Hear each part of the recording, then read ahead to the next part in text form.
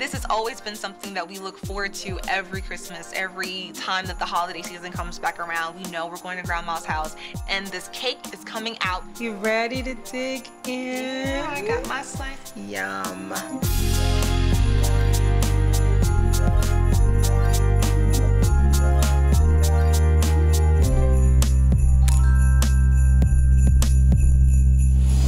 My name is Coledias Wilson. I am the mother of four beautiful, accomplished daughters. And this is my number two daughter, Lulu. Okay. I hear all the time that Lulu has my face. We do have this crazy dynamic. Like, we mm-hmm. really like the same things. Yeah. We like the same clothes. Yeah. we like the same foods. We I'll show her new music. Yeah. Like play something in the car. I'll like, mom, I need to put this on your Spotify. Yeah, playlist. like you need to have yeah. this new song, yeah. and I'll teach her the new dances and stuff like that. Yeah.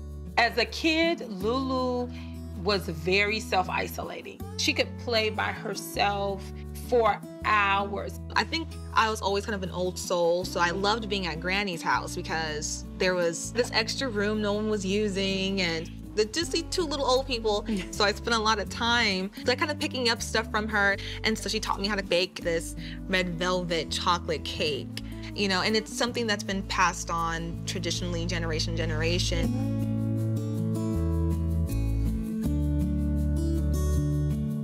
I would be there to stir and lick the spatula and uh, like watch her work and you know be there and making a mess as she would say like getting stuff all over creation.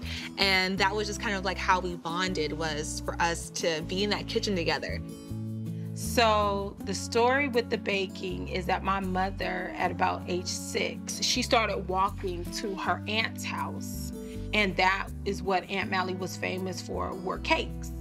And she talked about Aunt Mallie whipping these cakes in these bowls and using a wire whisk and getting all this air into them so they would rise. And she would bake these three layer cakes and how she was just so fascinated by it. Mm-hmm. So that's how that red velvet cake was born. Ready to yeah. finish it? Yeah. Oh, you're supposed to be putting it on the cake. More. You're supposed to you put it put on the on. cake. I think for me, sharing my meals with you and with my sisters, like I think it comes to the fact that, like my grandmother, my love language is acts of services. So I'll cook and I'll have meals with my family. And I feel like all these conversations we have at this dinner table, man, like it's insane. And it's just that coming together, that unwinding at the end of the day and to like do those check-ins and be like, so what's going on now? And to really get an answer. I don't like surface level small talk. We don't do that in our uh-uh. house. We get deep, we get philosophical, yeah. we get to the nitty gritty. Yeah. You know, and I think having those meals together is how we facilitate that connection. I've been very blessed to have this home where I have four sisters and I have a mom and I have a grandma and I have like, i am surrounded by these really strong women. And I go out and I meet my friends and they're just, you know, really struggling with society and with their own self images. And they're just kind of like, oh, you know, I have all this indecision and I'm insecure and, you know, I don't know what to do and I'm overwhelmed. And then I bring them to my house and then the, we'll have like these, you know, these therapy sessions at our dinner table, which has always been our tradition. We've had so many different conversations over the years. I think the thing that I've kind of needed a lot after I graduated from college in 2018 and like have been trying to like figure out my my place in the world and starting to get on with being an adult, yeah, has been that um, you can always choose again.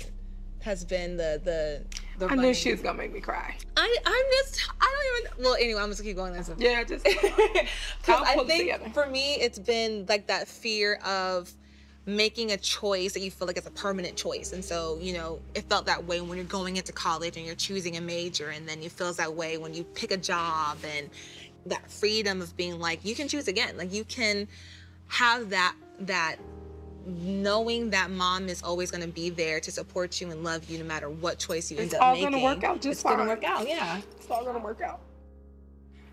You are so messy. You are making a mess.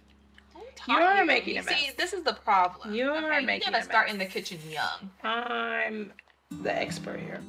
I feel like red velvet is southern. Yeah. Um, my mother growing up in Texas, her family lineage being from Texas, yeah. it is very southern. Yeah. I definitely categorize it as soul food okay. because it's good for the soul. It comes from the soul. you know, and it's something that's been passed on, you know, traditionally, generation, to generation. We use the same. I know that. Yeah, some people like my mother's red velvet has the quirk of having a couple of tablespoons of coffee in it. Mm-hmm. Teamwork makes the dream work.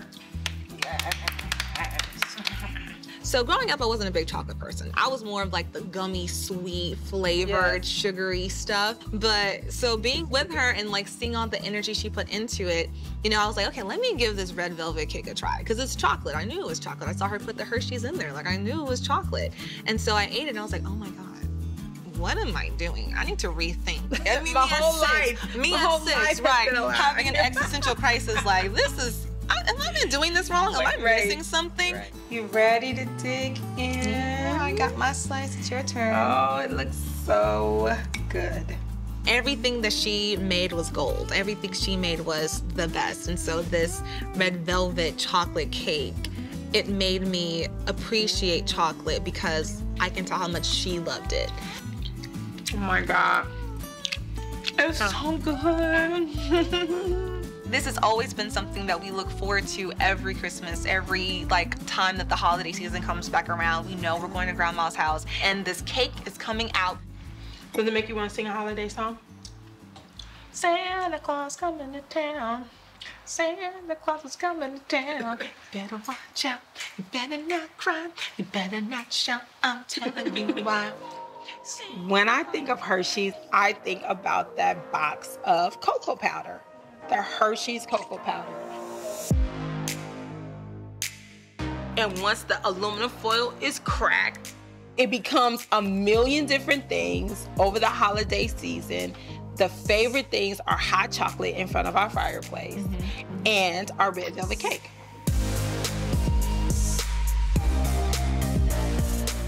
I think when I think of Hershey's, I think of Christmas.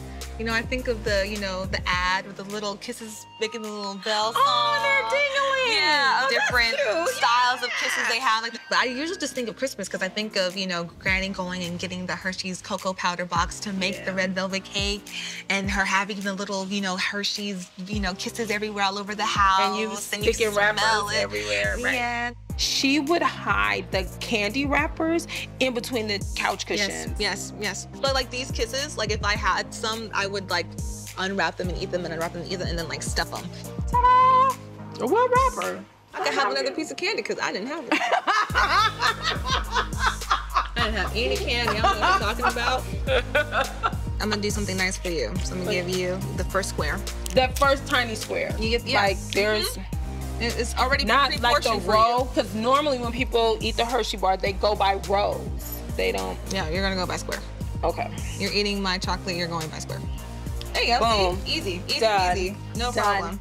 And then I get the one in the middle because I'm the middle child. But you don't put the whole thing in your mouth at one time. You did.